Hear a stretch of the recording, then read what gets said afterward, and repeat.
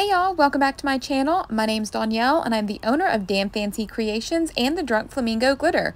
If y'all are new to my channel, I do want to let you know that all of my groups and links are posted in the description below in case you want to check them out. In today's tutorial, we are doing another fun patriotic tumbler the colors that I'm going to be using were still part of May's flock box, but the vinyl was not. This was another pattern that I put together that would still coordinate with May's colors as well as the vinyl. So I just wanted to do a tutorial to show this vinyl off. I think it's really cute with the patriotic girls and bows and glitter and all thing fun and 4th of July.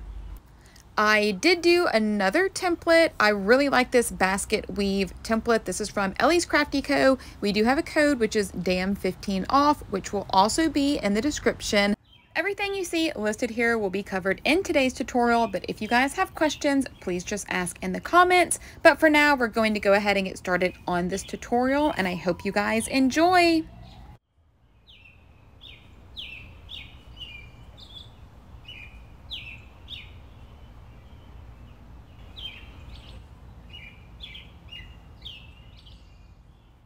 Alright guys, so I am just going to show you what we're going to be using before we get started. These are the glitters, Berry Patriotic, Cherry Bomb. Both of these are extra fine glitters. This is Patriotic Prosecco, which is a mini chunky fine mix. And then my favorite, which is Flirty Firecracker. This is an irregular cut hollow silver with some black mixed in. It looks super pretty under epoxy. And this is the pattern we are going to be using. I already cut out the template, so I'm just trimming the excess. And now we have our template cut. And I like to remove one piece of the basket weave before I apply it on my tumbler. This is just so I make sure that I line it up correctly. But as you will see, I still do not line it up correctly because I forgot to size it accordingly. For some reason, I thought it was already sized to the tumbler I was using and it is not. So if you purchase templates from Ellie's Crafty Co., make sure you size them before you cut them out. So I'm just using my cup cradle from Brooke, which is Cami Paige Boutique, just to draw a straight line down my tumbler so that when I apply my vinyl, it will be straight. I am just trimming a little bit of the excess, just like I would if I were applying a full vinyl wrap. This can act like a hinge. Twist it around, make sure everything lines up correctly. This one looked pretty good, so I went ahead, flipped it over, and we are using our squeegee to press down the vinyl as the backing is being removed. And it was a little hard to keep those little tiny vinyl pieces stuck properly to the transfer tape as I was smoothing everything down. But I made it work. I think this is probably the second template I have ever done and now I love them and want to make all sorts of tumblers with templates. They always just seem to intimidate me and even with this one clearly it's not matched up right but I do show you guys how I fix that. And if you're wondering, my grips are from the Tumbler Grip. I do have a discount code for them, which I will link in the description. So all I did to correct my mistake of not sizing it was just move over the pieces that I knew were going to be kept, which was only three. So the center diamond I knew was going to stay, so I just moved that over a little bit. And then one of these vinyl lines on the top and bottom were going to stay. The rest were all going to be removed and glittered.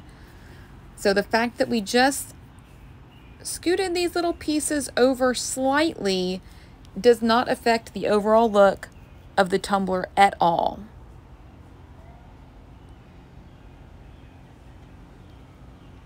And I did have to move this little strip over since I was adjusting the strip next to it. But it works out perfectly fine. If you want, you can go ahead and remove and discard this strip, but I like to keep everything on there or I will get confused. So we are going in with Artistry's glitter glue, and this is how we're going to apply all of our glitter. If you guys have not tried glitter glue from Artistry, I highly recommend it. We do have a discount code for them as well, which is damn fancy. For those of you that have followed me for a while, you will know that I typically used clear spray paint or epoxy to apply my glitter, but ever since I found Artistry's glitter glue, it's pretty much all I use.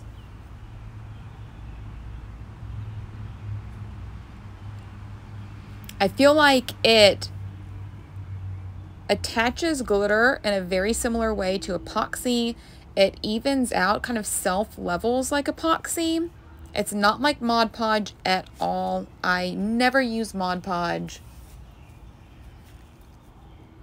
But glitter glue, I would probably buy in a gallon size if they offered it.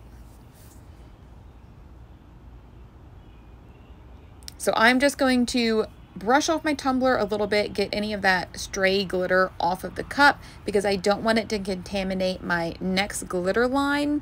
And then I am just drying this glitter with my heat gun just to get that first glitter line as dry as we can so that when we pour our next color, it's not going to mix in together. So we are removing our second line and I kind of planned out ahead of time of which colors I wanted next to each other.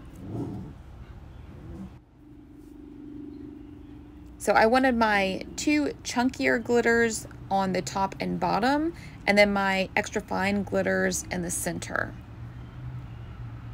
And this extra fine glitter is a metallic, opaque glitter.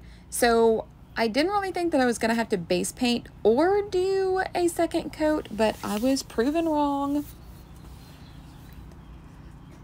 I think it was because this glitter is so fine that if I would have used Tack It or like a sticky sheet, I could have burnished it in well. But since I was just using glitter glue, I did have to go back and do a second coat just because I wasn't super happy with the coverage. Typically, I don't ever have to do a second coat. I think it was just because the glitter was so fine. So I just brushed off the excess. I am drying this line with my heat gun so that I can come back with another coat of glitter glue and sprinkle on another layer. So the coverage isn't terrible, it just, you know, I try to get it as perfect as I can.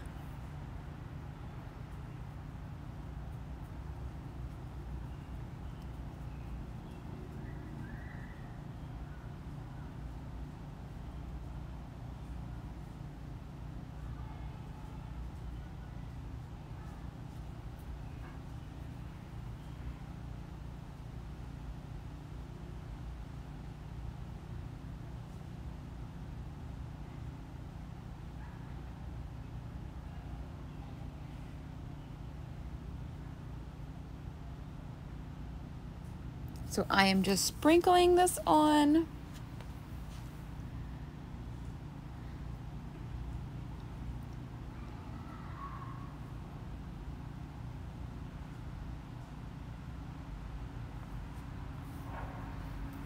And then I'm going to do the same thing that I just did. I'm going to brush off any excess glitter. And then I'm going to dry this with my heat gun. Again, just so the next glitter color does not contaminate. So this time I thought maybe if I use Colorfix paint and match my base to the glitter, it will give better coverage. But again, I was proven wrong. I still did not get that coverage that I wanted. Again, I just chalked it up to this glitter just being super fine. And I typically only use fine glitters or chunky glitters. I don't work with a lot of extra fine glitters. So from now on, I know that most extra fine glitters is probably going to need two coats or use a burnishing method.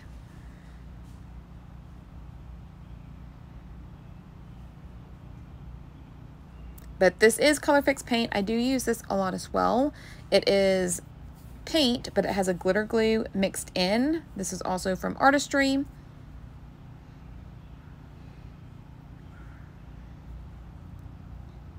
You do have to work a little quicker with Colorfix paint versus the glitter glue because it does dry quicker. You don't have as long of a work time as you do with glitter glue.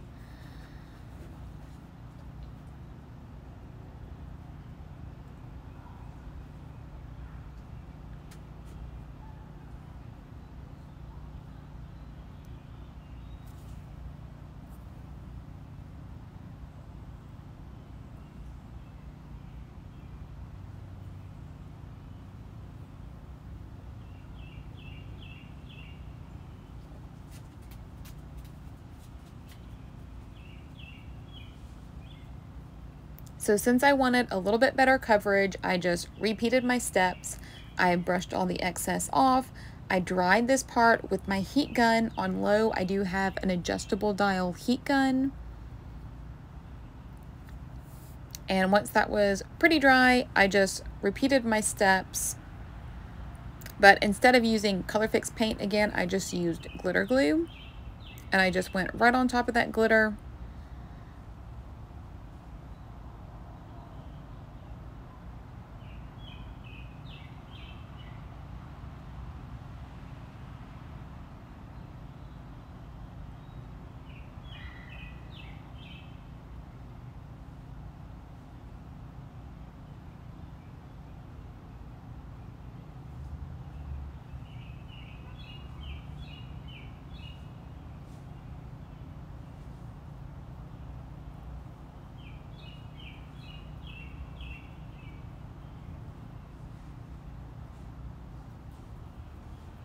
And then we're just sprinkling on our second coat of glitter and I was really happy with the coverage at this point.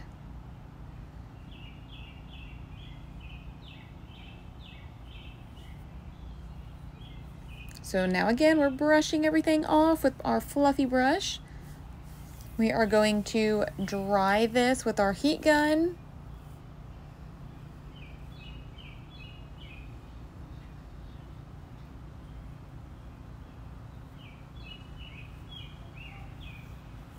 And then we are going to go in with our last color, which is Patriotic Prosecco. This is another chunky glitter, so I only needed one coat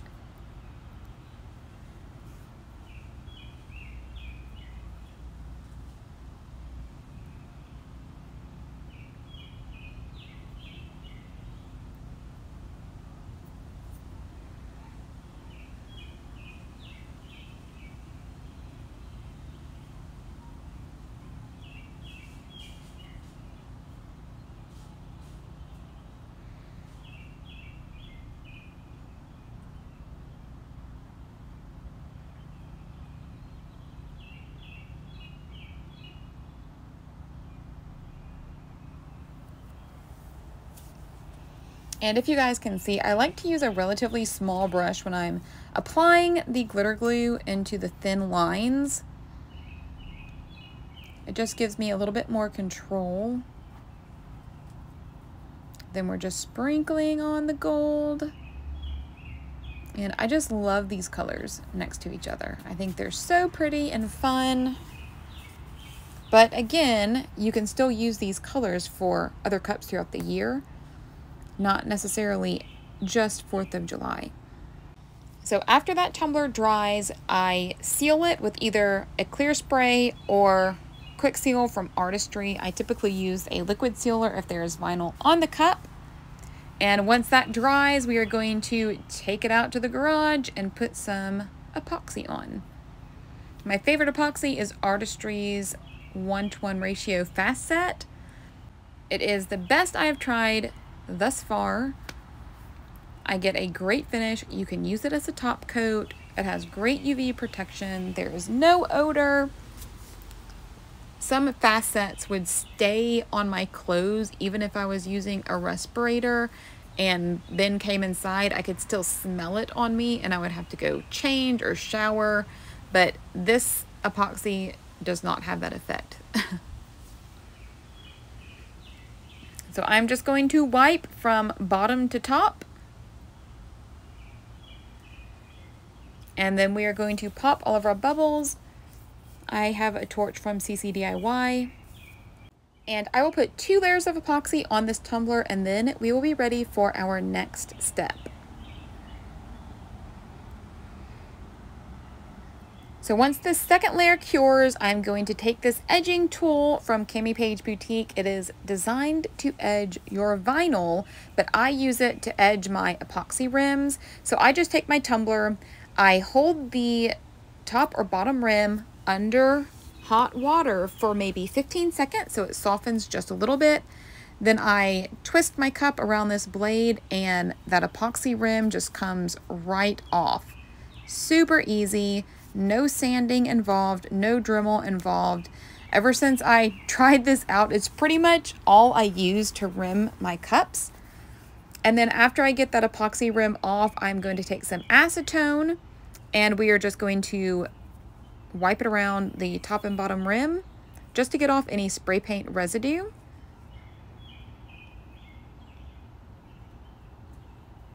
And once we do that, we have a nice, clean, even rim. So now we are going to pinstripe our tumbler. I'm using vinyl pinstripes as well as nail striping tape. I do have a file on thedrunkflamingo.com that is a pinstriping file. It has all of my most popular sizes I use, which is 0.07, 0.05, and 0.03. I typically cut out a full sheet at a time. That way I have multiple sizes and multiple colors so I can layer them.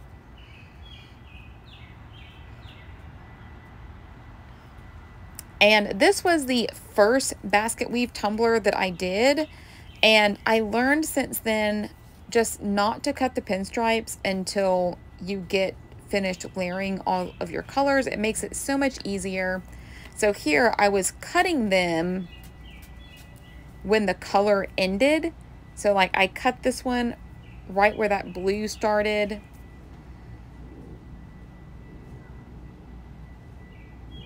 And it's just a lot of extra cutting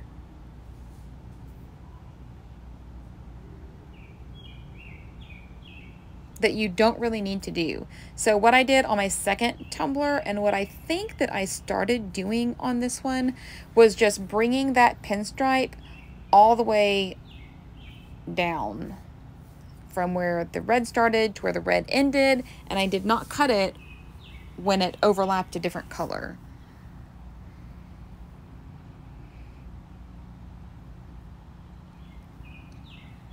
And these nail striping tapes can be a little hard to get started. And I just matched the nail striping tape with the color that it was next to.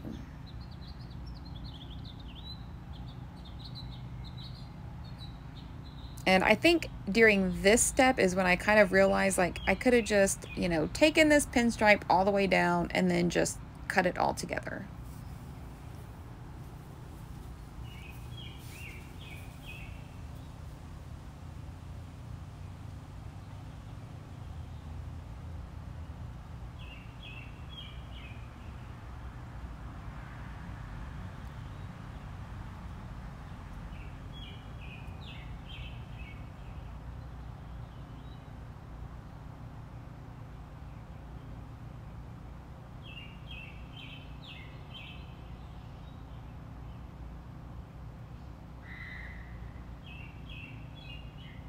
And then I always just wrap that end around the striping tape just so it's easier to grab that end the next time I use it.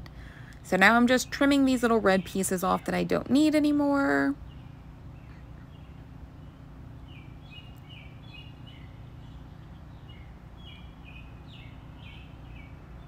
Nope, see, I'm still cutting them.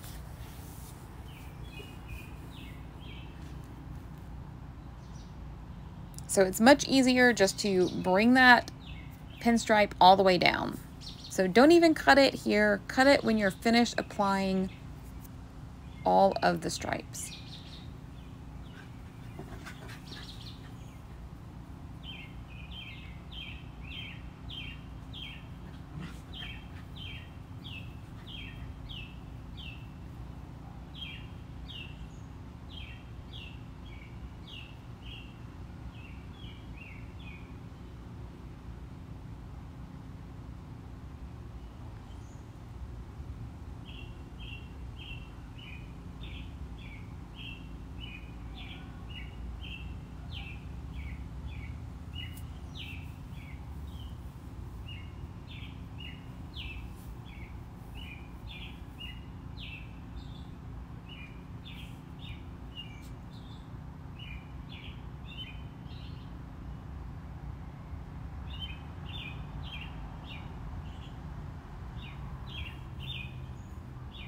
So for this pinstripe, I'm just using this kind of like holographic silver. I thought it went really well with the holographic silver that is in the Flirty Firecracker glitter.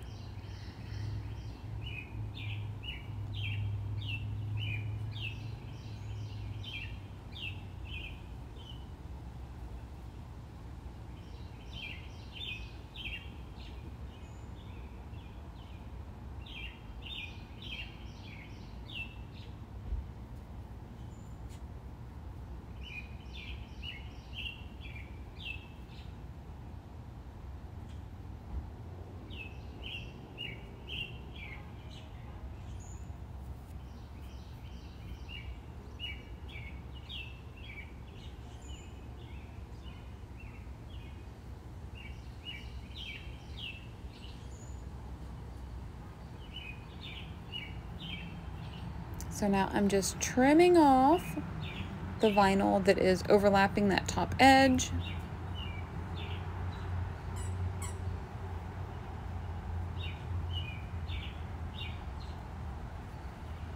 And then trimming off that nail tape.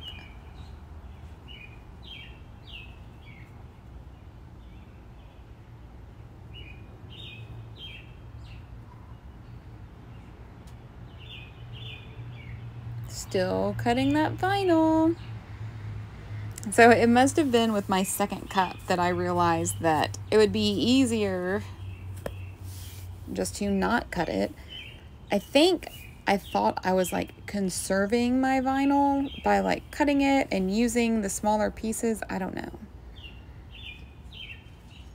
Oh look, I overlapped that one.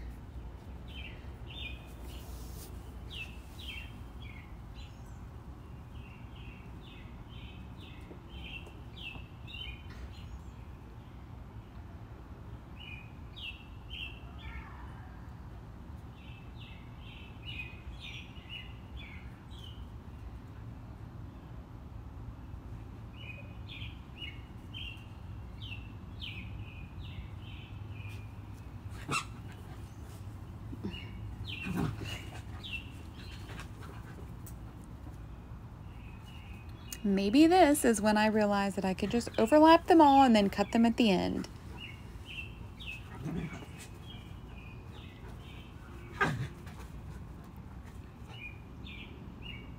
And typically when I do pinstripes, I just use two colors. So I may use a white and a gold, but for these, I matched each top color to the glitter and I really love how that turned out. So it wasn't just one color. It was multiple different colors that were also highlighting the glitter and the vinyl that we used. And I really love how it turned out.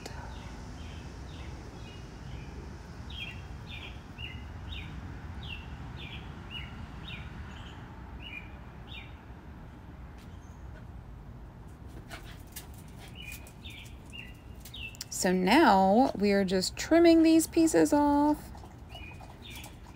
And then I realized like, okay, I can trim these, but then I did not cut them correctly. so I still had little pieces overlapping that red. And I was like, dang, I got to cut them before that red so it looks correct.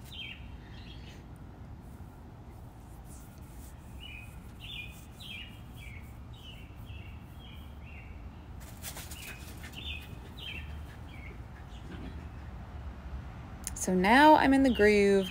I'm just bringing that vinyl all the way down.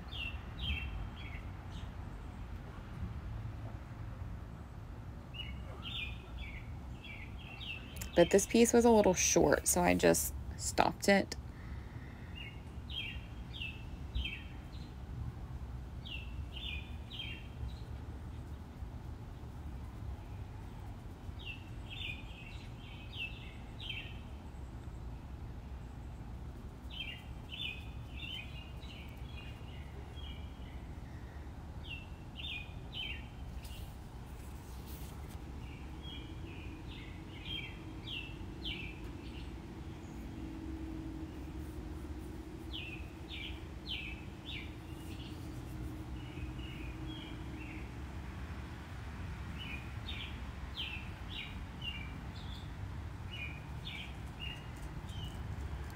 And then our last piece of white.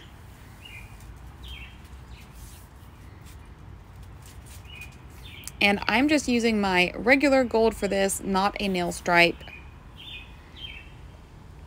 This is just my textured gold that I always cut out.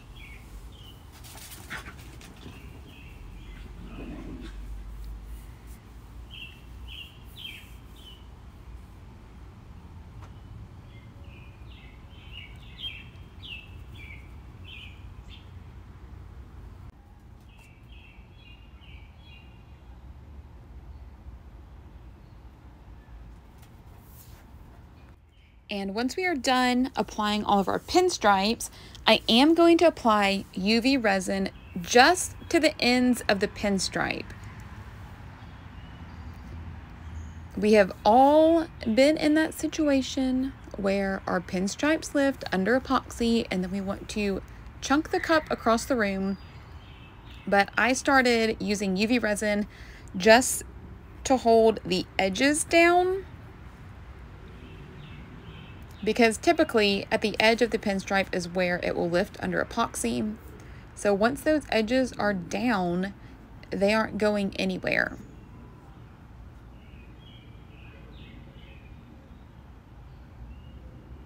So we're just trimming these little guys, getting rid of those little pinstripe pieces we don't need. And now we are going to break out the UV resin. I like to use CCDIYs. It is my favorite that I have tried. I just literally put a tiny drop on it. I smooth it down with my silicone tool and then we're going to cure that for about two minutes. And then we're going to do the same thing on all of the basket weave edges as well.